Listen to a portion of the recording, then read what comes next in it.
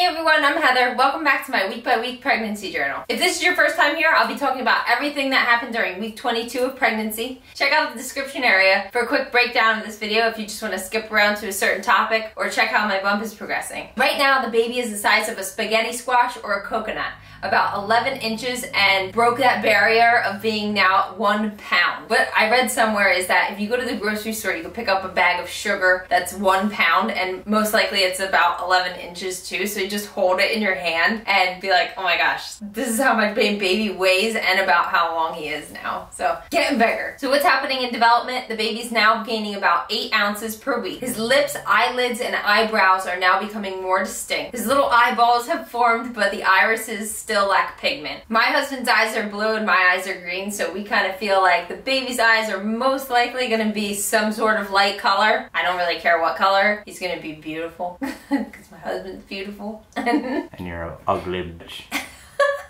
and his see-through skin is now opaque. Might stay pale, like my ginger husband. Yeah, I'm kind of see-through in the winter. How am I feeling physically this week? Definitely I feel larger and definitely like my belly feels tighter, especially in the evening hours. Symptoms this week, my hips and my thigh bones are super achy at times. It's not like a constant everyday thing and I feel like I could stretch it out a little bit and make it go away but a few days in the beginning of the week it was just like I woke up and was like what did I do? And I didn't do anything to cause that area to be achy and it's not like my thigh muscles either. It's like my bone like you feel it deep in there and like in your hip bones. Like maybe they just grew that day or something I don't know I didn't measure but that's all I could think that just changes are happening. Indigestion is still present. It's just always going to be present and I've just Tums are my best friend and I think I've just learned to live with it. I don't know. I've just I've noticed that like my ear doesn't change. It's like ah, how do you make it go away? Could be uh the inner ear dysfunction thing that I was talking about that I had for a little while with uh with uh some um allergies because all the pollen don't know, it feels weird. I feel like I've been very irritable this week, kind of simmered down towards the end of the week. And also bloody nose, I figure that it's usually just on the right side and it's in the mornings. When I clear my throat and brush my teeth and blow my nose and I squirt some saline up there because it's just I'm so congested I really can't breathe, I see blood come out and it's just always that one side. Backaches are still happening. It's just definitely by the end of the day, I think just standing on my feet all day and just being active and working. Also flipping around in bed trying to find a comfortable position, I find that I get those little stabbing pains. And the baby movements are always fun to experience. Now it's more throughout the day, not just in the morning and at nighttime when I'm laying down. I just feel them occasionally like all the time. And the one day at work I was sitting in a conference and I looked down and I saw my belly moving and that was a cool feeling. Another thing when I was at work, I mean just I guess maybe looking down when I felt the the movement, I was just like, oh my gosh, my belly definitely changed shape, like popped out more. And I'm like, I have this cute little mountain of a view of my belly. I took a photo of it like this because I was like, I just want to capture that, like that moment that I felt like Oh, look at the belly. and lastly, um, Braxton Hicks contractions. They do happen. They're continuing to happen. I don't think it's anything to worry about. We have our follow-up appointment for, I think, 23 and a half or 24 weeks next week. And I will just double check with them that that's normal, but I've read everywhere that it's normal. It's just the uterus contracting for about 30 seconds to two minutes and it goes away. It's not multiple in a row. It's just occasional, but I find that even when I'm walking or going down the steps too quick or up the steps too quick, I feel a contraction and I just notice it and I touch it and I'm like, oh, okay, maybe I just need to slow down. They also say the best thing is to drink water. Mainly drink water and change your positioning. So I'm working through them. They're there though. Cravings this week, had to fulfill all of them. I had a craving for a cheese sub. Well, cheese sub is all I get, which would be like a hoagie or something, a sandwich with lettuce, tomato, onion, all dunked in vinegar and yeah, I devoured that. I have been craving chips, custard with jimmies from uh, a place called Rita's that's around us, and it's the best ice cream ever. It's just so thick and creamy. and Lots of rainbow jimmies. And the last thing was pickled ginger. This was something that I made my husband go to the grocery store with me at like 9 or 9.30 at nighttime just to get that because I knew I wanted to eat it and we got it. It was not that satisfying because it was the wrong kind of pickled ginger. It was like the spicier one. It wasn't the pink one that's just kind of pickledy taste. There's a difference. Ginger people, ginger lovers, people who like ginger, I guess you know what I'm talking about. Either way, we got sushi the next day. I only got the shrimp tempura, no raw fish or anything. I got the right kind of ginger then. Body changes this week. I'm still at about 10 pounds of uh, weight gain this week. Nothing really changed much. I don't know what to think of that, but I mean, every day it's different. It might just be this morning that I weighed myself and it's only 10 pounds still. And around my belly, it's still about a three inch even gain. Maybe a little more in my waist this time, but I am definitely losing my waist. My waistline is disappearing if it hasn't already. It probably did already, but I'm just have a little hope there.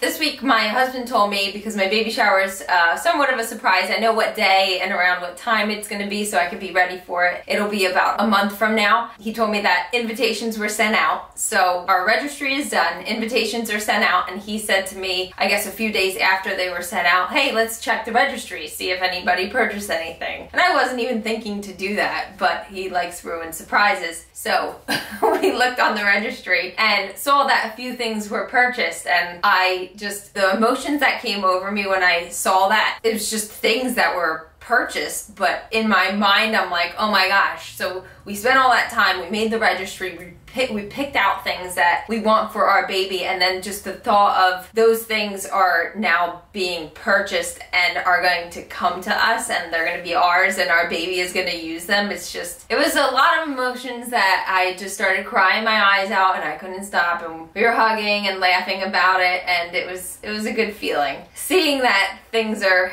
coming our way and it's just getting more and more real. Speaking of that, a couple days later, we get a package in the mail. Our friends that live out in Colorado, we're in New Jersey, obviously can't attend the baby shower and they already sent a gift to us. So one of the things that we saw that was purchased was from them and it arrived and it's like, oh my gosh, shit is getting real. We are getting things and we're putting them in the room already. The room's not anywhere near done, but this is happening. It makes me just so happy. I just, we both, we can't wait to meet him. I think about him every day. I think about that little face that was on that 3D or 4D or HD live uh, ultrasound from a couple weeks ago and I just blink hearts.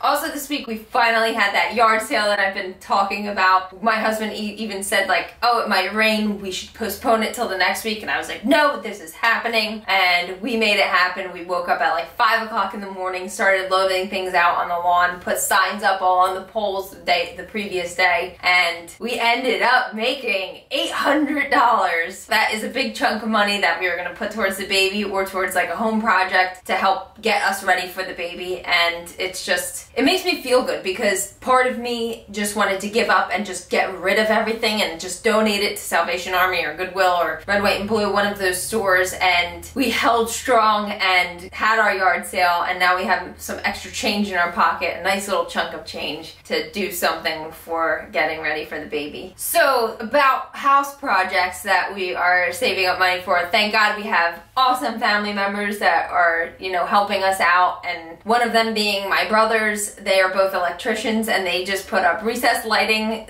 uh, this past week in the baby's room and in the hallway and they do plan to do it in our living room. So seeing that change is just awesome. It just brightens up our house it's the dimmable lights for the nursery and I just, that takes a big weight off of our shoulders. It just makes the house look that much better, especially when we're gonna have guests and like my parents over and his parents over and family and just having better lighting in our house is something that was really on that checklist of things that we needed to do. Also, my brother-in-law, he came over and laid all new water pipes for our laundry room, which is gonna be in the basement now. I know that that is just such a troublesome task and the fact that he was able to do that in one day with my husband helping and another guy helping and it's just like check check things are all coming together. My brothers ran electric down there and I think we're finally gonna have a working washer and dryer in our basement. So yay! This week I also tried to listen to the heartbeat through my stethoscope at work. It might have been the positioning or maybe it was just too noisy, but I did not hear anything. Maybe I'll try again next week or the week after. I mean, I don't know. They say that you can hear the heartbeat through a stethoscope, but, or maybe it's the baby's position. I don't know, but I didn't hear it. I feel him move all the time, but just couldn't hear the,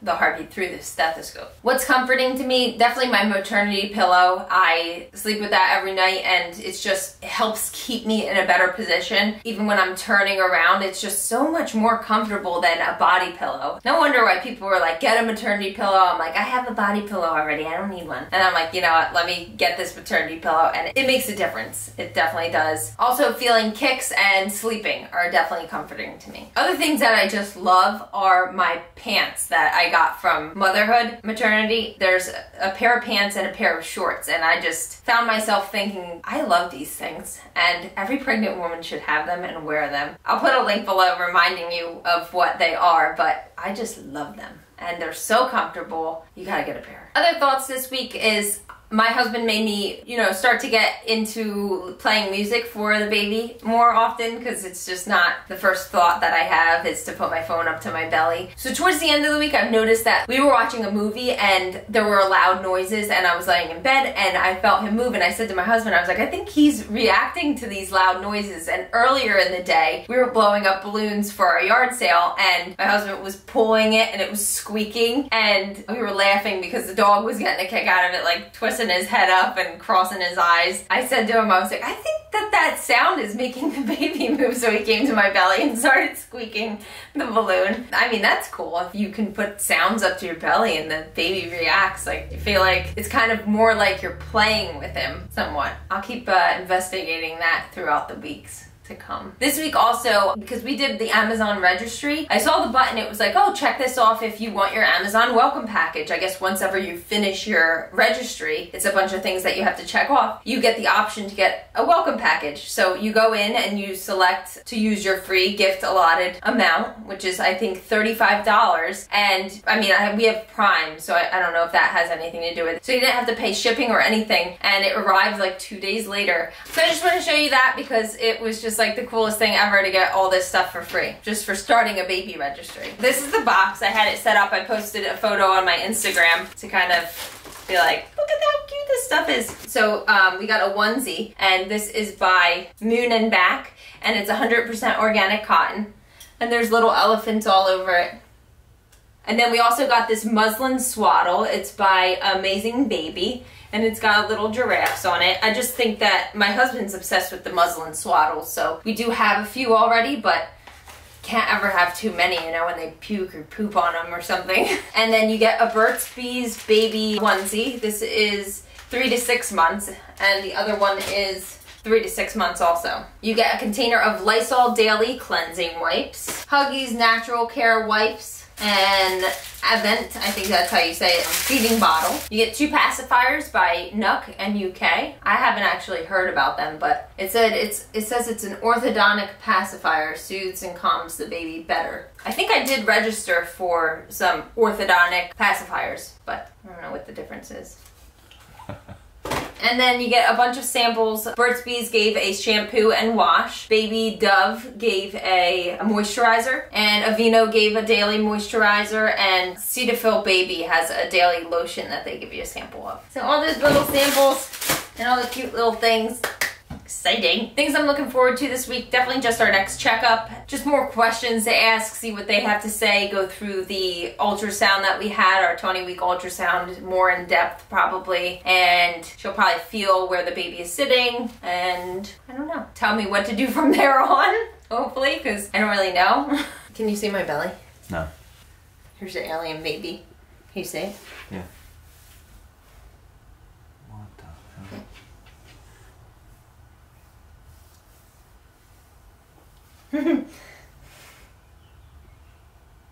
in this little spaceship. Uterine spaceship! Alright, so this is my belly for week 22, day one of week 23.